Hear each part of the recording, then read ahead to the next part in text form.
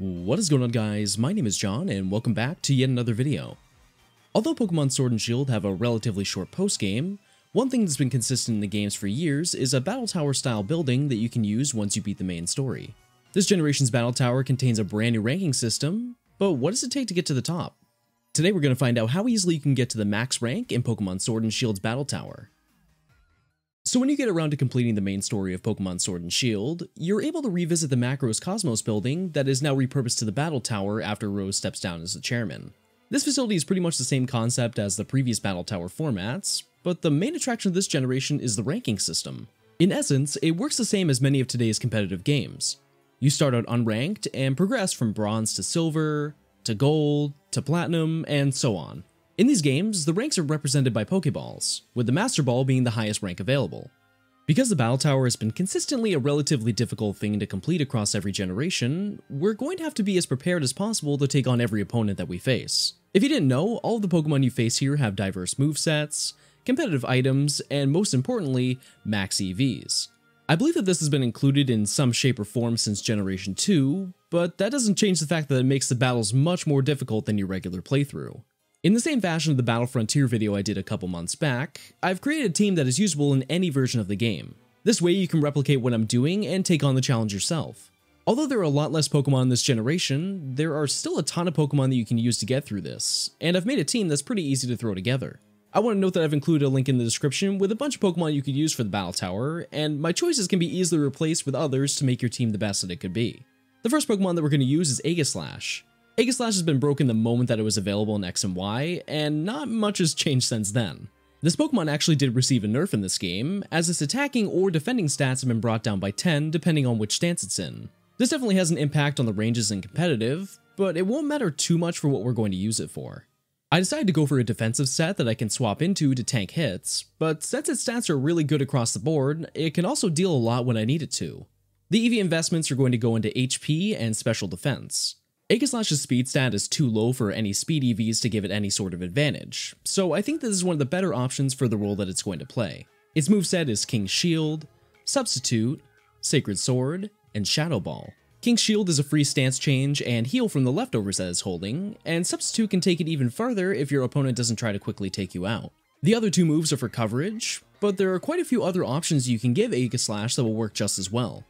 The second Pokemon that we're going to take a look at is Zacian. Now your first thought is probably, that's a legendary, there's no way that isn't banned. And I thought the same thing. For some reason in this generation, there isn't a ban list of any sort, which means you can use literally any Pokemon you have in your PC to take them on. Zacian is an extremely powerful Pokemon solely off of its stats, but its move pool is very diverse, albeit relatively limited. I decided to go for a physical sweeper set because of its absurd 170 attack when it's holding the rusted sword, which also gives the steel typing for more stab options. The moveset we're going for is Iron Head, Sacred Sword, Play Rough, and Crunch. Iron Head also turns into Behemoth Blade because of the sword, which increases its power from 80 to 100. This also doubles if the opponent is Dynamaxed. Now this is obviously a version exclusive and limited to quite a lot of people, but you'll understand why you can use pretty much anything after I explain this last Pokemon. Dracovish is a new Pokemon that was introduced in Generation 8, and it's very interesting. This is one of the fossil Pokemon that you can revive on Route 6, and it's literally one of the most broken Pokemon in the entire game so far. Let me explain why.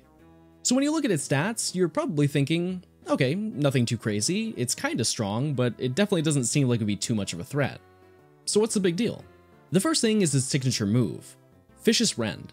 This stab move has a base power of 85, but if the Pokemon outspeeds, the power of the move is doubled.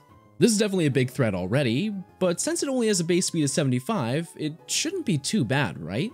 Well, if you give it a Choice Scarf, your speed is increased by 50%, so if you put all your EVs in speed and attack, you can outspeed an overwhelming majority of the Pokemon. That is, unless they're holding a Choice Scarf themselves. You might also be thinking that the Choice Scarf limits it quite a lot because it's locked into one move, but since you can Dynamax in the Battle Tower, you're able to choose whatever move you want, so if you're in a pinch, you can just resort to that and still get the benefits of the Choice Scarf. After all that, even its ability is ridiculous. Strong Jaw increases the power of biting moves by 50%, which means that stuff like Bite, Crunch, and all the Elemental Fangs have a boost. But do you want to take a guess what new move was added to this ability? Fishious Rend. This means that you can not only outspeed just about everything in the Battle Tower, but you have access to a physical stab move, boosted 50% by its ability, and doubled in power if it outspeeds the opposing Pokemon. Someone decided this was okay. It's also important to note that Fishious Rend's power doubles even if the Pokemon switches out, so there are very few counters to stop this monster of a Pokemon. If you haven't noticed, my team is lacking in a lot of guards when it comes to type coverage, but that was semi-intentional. I knew far ahead of time that Dracovish had extreme potential, so I wanted to see how much it could possibly carry with a team that wasn't the best it could possibly be. Before we hop into battles, I just want to briefly cover a couple of things. For those who want to take on this challenge, but don't want to go through the grueling process of breeding and EV training for hours on end, I have great news. If you go into the Versus section of the main menu, you can input the code on your screen and rent out the team that I made and use it in the battle tower. This way you can start the challenge right now if you wanted to, and even use it online as well. I'll probably update it to a full team of 6 within the next week or so and throw a new code in the description. But if you don't care about doing the whole team building aspect, you can download this team right now if you have a Nintendo Online membership. I also want to say this generation is definitely the most competitive friendly it's ever been, and it took literally 3 hours total to build this entire team. To briefly explain it best, we're going to use the Aegislash that I put on my team. I spent a bit of time breeding Honedge until I got the exact nature I was looking for, and then gave my Ditto the Destiny Knot to pass down its IVs until I got as close to 31 in all stats as I could possibly get. From here I used some EXP candies to level it up past 50, and went into the move relearner in any of the Pokemon centers to teach it all the moves I wanted it to know. I gave it the leftovers that you can grab in the overworld, and then bought a bunch of vitamins and fed it to Aegislash to max out its EVs. Because there now isn't a cap on using them anymore, you can just buy 26 to get 252 EVs in the stat that you want. This process took me a whopping 40 minutes to do, which is incomparable to any other generation. On another side note, I want to give a quick shout out to Sergeant Smash for giving me a foreign Ditto to help with the breeding and potential shinies, and I've linked some of his stuff in the description below that you should check out.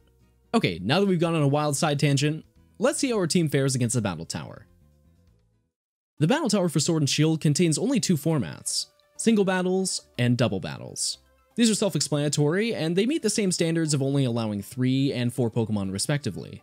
As I mentioned earlier, you start out unranked and have to work your way up to the Pokeball tier. Unlike the previous installments, you can actually lose battles, but when you do, you drop down in rank, which has a much larger impact the higher you go in the tiers. Because I'm much better at doubles, I'm going to challenge myself a little bit with the singles format. So in the first few battles, I led with Dracovish and went with the very simple plan. If Fishious Rend wasn't effective, Dynamax and use a different move. This worked out really well for the first few battles, but I decided to just stick with Fishious Rend to just see how much damage it really does. And yeah, this was a majority of the battles. Because all the little benefits Dracovish gets can be mixed together, it makes it basically unstoppable in an offline mode like this. Pretty much 90% of the Pokemon I faced I could one-shot, and that includes Pokemon that resisted the move as well. The only Pokemon that could truly counter it were Wobbuffet and some ice types that could tank a hit like Avalugg. But other than that, it would take care of basically anything else. The only battles I would consider to be difficult are the final battles you have before you reach the next rank. Leon is the leader of the facility, and he's pretty easy to prepare for when you know that he'll always have his Gigantamax Charizard with him. The only reason this battle is tough is because he's the only trainer that can Dynamax, and that was more of a me problem because Zacian and Aegislash get destroyed by fire moves. These were the only battles that I lost throughout the entire challenge because of how strong Charizard can actually be. But if you start out with Zacian and use Behemoth Blade, you can take care of the first two Pokemon and switch to Dracovish to take care of the rest. I really wish there was more to say about the battles, but this was probably the easiest challenge I've ever done. This Pokemon is that good. Overall, it took me 34 wins to reach Master Ball tier, but there is a secret final battle if you keep going within the rank. Eventually you have one final battle with Leon, and this is essentially the last battle you're supposed to do in the entire game. Is it harder than the previous four? No, not really. But if you manage to defeat him, every Pokemon that participated in the battle will get a ribbon commemorating your secret achievement. I also want to note that during this entire process, you're given a bunch of rare candies, nature mints, gold and silver bottle caps, and over 200 battle points once you finish the final battle. Considering that they reduced the price on almost all the Battle Shop items in this generation, you can basically buy all the remaining competitive items that you can't pick up in the overworld with just these points. After a total of 45 battles, we reached the Master Ball tier and completed all the major battles within the Battle Tower, with pretty much only one Pokemon. But how did I do?